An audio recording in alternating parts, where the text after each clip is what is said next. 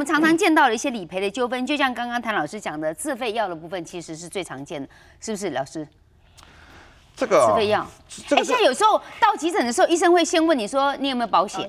对他问我这句话什么意思？他问我这句话是我有保险，他会这样处理；我没有保险，他会那样处理，会不一样吗？哦，我以下讲的话哈，仅供参考哈。哈，这个有有可能有一点太过了哈。嗯我只记得我们有健保以后，以前哈，这个健保的时候啊，在早期有健保，嗯，好像什么药都不用钱，用什么药好像都不用钱，都会开给你呃，医院大概也不用问你说有没有保险，嗯，大概都不会。那可是最近的三五年，好像奇怪了，为什么好像这个也不赔，健保的也不好，怎么样？我一直在思考这个逻辑上的问题啊。按照观念，科技越来越进步，我们的药材、我们的器材也会越来越进步。对怎么在以前都不会都不会有这些问题？怎么现在怎么很尤多尤？其那个妈妈躺在那里，他就问你说都都说是比较好的药哈，对对对对你要不要给妈妈用？我怎么敢说不给妈妈用比较好的药嘞？嗯，那这个问题我一直在思考这个逻辑。后来我最近大概有几个医生的保护朋友，他也私底下跟我讲了，因为哈，以前健保都会都会赔啦，都会给医生，都会给医院点数啦，哈，那在医院健保就亏了嘛。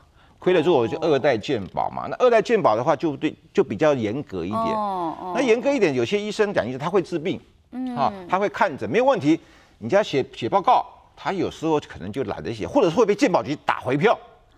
那既然这么麻烦，就问保护，反正你有保险嘛，我给你开比较好的药嘛，你要不要嘛？哎，那一般保护的心态就是，反正我也讲了这么多年嘛，对吧？我是用好的药是合理呀、哦是吧？所以我们自费手术也是类似的问题啊，就关于到自费的时候，就是我给你用比较好的嘛，反正你有保险呐、对对对，那这个问题又来了，嗯。那有时候会超过，哦有时候是有时候会超过，就是理赔的上限也不是不是理赔上限，有时候你可能不需要用到这样的一个手术，哦，你可能用内视镜手术就可以了。那非得医生就给你非得给你用海扶刀，或者是非得给你用达文西手术。是那这个是在保险公司在碰到这样子的状况的时候，就是说你可能超过了，所以说那个自费手术就会有一个打折的理赔。哦，那还有个自费用药也是一样的意思。自费用药是什么呢？如果说医生，我们知道那个用药可能一线用药、二线用药、三线用药，嗯嗯，他不是不赔，他按照程序来。那有些人可能就直接跳过一线、二线，直接给你用最好的。是对不对？那最好的不一定是有效。那这个时候在保险公司来看的时候，就说你奇怪，你按照程序来的话，我都会赔。可是你没有按照程序来，我这个自费用药 就给你打折理赔。所以这个在理赔的上面就会有很多认知上的一个问题、啊。我怎么样避？免这种状况呢？怎么样避免怎？么样避免到时候真你说你的，我说我的啊？这就是保险纠纷了。哈啊保险纠纷，那其实你按照条款上来讲，哈就，照条款。照照条款，我们保单里面都有一个不赔事项，但是它不会写得很清楚啦。啊因为有的自费用药，它可能大概写叫医师指定用药。这个很宽呐、跟海边一样啊。哎你就是你就就就就就清楚了。嗯医师指定用药，可是呢，我们在手术室里面出来，他就叫你填一个单子，那叫病患自愿用药同意书。啊，你以为那是知医师指定用药难怪难怪会纠可是他白纸黑字就是病患自愿用药啊，是就说成是你自愿的，有没有差一个字是不是差很多？差多了刚。刚才那个时候差更多字，那钱又差很多了。这个就有纠纷。哦，了解。这个就有纠纷好，，理对，赔的纠纷很多，还有就是理赔的上限的问题。那不是就照合约上面有有什么问题吗？这个理赔上限就是大部分会发生在实支实付型的这种保险，哦。因为大家实支实付都是看名字买保险，嗯，我花多少钱赔多少钱嘛，嗯，天底下有那么简单的事情吗？是。每一个保险它都会有个额度，譬如意外险一千万就是一千万嘛，赔到一千万就不赔了嘛。那实支实付它也都会有个额度，比病房费一千块，杂费十万，手术费十万，大概都会有这个额度。你超过这个额度就不赔。嗯，比如说我做一个心脏支架十二万好了，那我杂费是上限只有十万，那他。当然只赔十万啊！啊，可是我花十二万啊！啊，你们不是说实支实付吗？我花多少钱赔多少钱吗？那可是你要看一下仔细啊，它上限只有十万啊，是不是？那除非你买二十万的杂费，二十万的手术，那你就没有问题。哇，真的我也没有看清楚哎。你如果问我上限是多少，问我们在呢？因为这个就好像我们买保险一样，没刚刚有讲过啊，我一年花五十万，买哪些内容几万嗯不知道，是不是？很多人都潘老师，我跟你一样，我也不知道。很多人就是这样 我把我，们你一年缴缴多少保险费？哦，缴很多，买赔多少？呃不知道，啊这个这个问题就在这个地方。好哎，这个就变成纠纷了哈。还有一个在病投保，就是我投保的时候，我并不知道原来我之前就有这样的疾病，哇，这个就有得扯了呀。哦，这个这个的，这个这个好，在金融评议中心里面哦，嗯这个也是非常非常高的一个一个纠纷。哦那我现在是建议各位哈，现在科技越来越进步，我们现在不是下载一个健保 APP 吗？嗯哼，那健保 APP 大家的观念是去买口罩嘛？之前对，对不对？健保 APP 有个功能，什么功能？去查你过去两年、三年你去看过哪些医院，他给你开了哪些药，哦他给你下了哪些病症。嗯你在投保这种有关医疗保险的时候，我最建议的建议各位啦，一定要去下载看一下。这个时候你就会发现，我到底是在投保新的买保险的时候，我到底有没有病？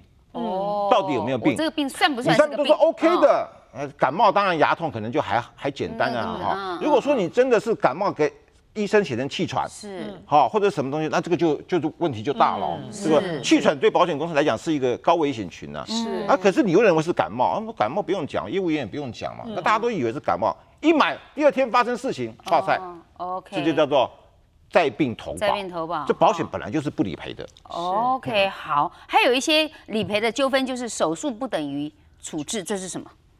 手术不等于处置。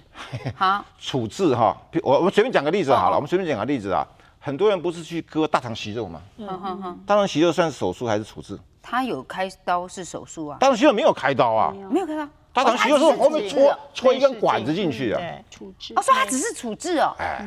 哎呦，果然我不是医生，对对我会以为他就是个。那有些我们伤口啊，可能有一些创伤啊，可能有一些那个什么包扎啦、挤脓啦，什么，那是处置还是手术？有些还那个缝个两针三针，那是处置还是哦，那我聪明了，我知道这个叫处置。哎这个叫哦，原来这样叫处置啊。所以说呀，那我们现在哈新的这个医疗保险，新的医疗保险啊，它都有一个叫做健保二二七，嗯，哦，那可能讲讲健保二二七，健保二二七是一个简称呐哈，那大家也比较记得清楚，嗯嗯，什么叫二二七呢？就是鉴保局里面的第第什么什么什么的理赔什么第二部分第二章第哎第二节里面的列出来的那些手术是。保险才会理赔。哦，那那个手那个里面有多少名称呢？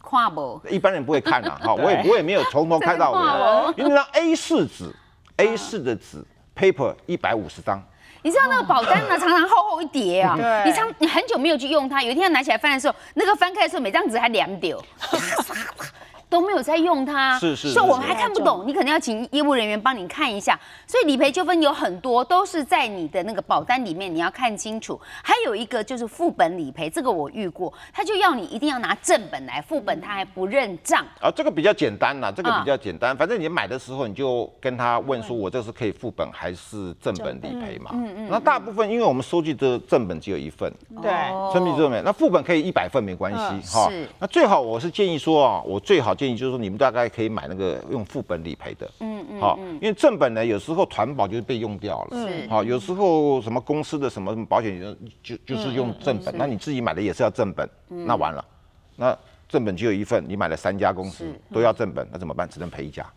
哦，是不是？